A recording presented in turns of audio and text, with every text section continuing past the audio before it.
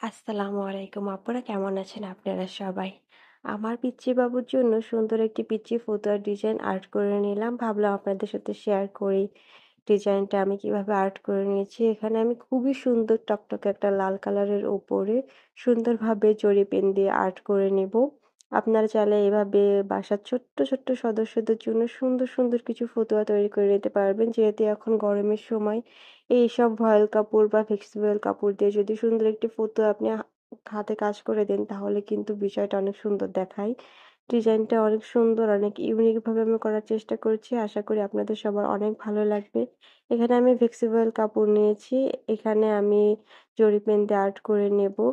ডিজাইনটি চওড়ায় আছে, তিন ইঞ্চি কি চার ইঞ্চির মতো। আমি অতটা মেপে দেখি নাই, আপনারা চার ইঞ্চি দিলেও সুন্দর লাগবে, তিন ইঞ্চি করলেও সুন্দর লাগবে। একবারে সিম্পলের মধ্যে আমি ডিজাইনটা আর্ট করে দেখানোর চেষ্টা করছি সেলাইটাও আমি সিম্পলের ভিতরে করার চেষ্টা করব। অবশ্যই আমি সেলাই টিউটোরিয়ালটা আপনাদের সাথে শেয়ার করে দিব। গলার সাইডটাও আমি একদমই সিম্পল রাখছি, আমি এখানে সিম্পল কিছু সেলাই দেবো।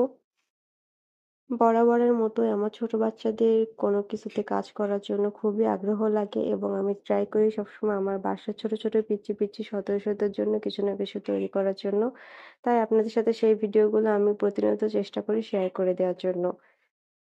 এরকম আরও নিত্য নতুন ভিডিও পেতে অবশ্যই আমার পেজ থেকে দেখলে একটা ফলো দিয়ে রাখবেন এবং আমার যে সকল আপুর আমার ইউটিউব চ্যানেল থেকে দেখছেন সাবস্ক্রাইব না করে থাকলে একটা সাবস্ক্রাইব করে নেবেন যাতে পরবর্তী ভিডিওগুলো খুবই জলদি আপনাদের কাছে পৌঁছে যায়।